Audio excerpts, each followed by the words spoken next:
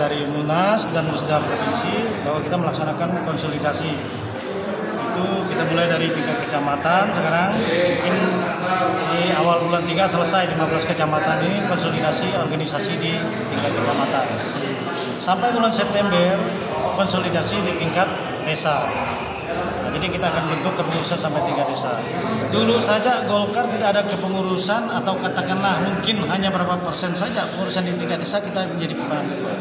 Kalau ini kita lakukan sampai ke tingkat dusun, kita yakin dan percaya Golkar akan menjadi pemenang di baik itu instalasi politiknya pemilu presiden dan pemilu legislatif dan juga pilkada Yakin.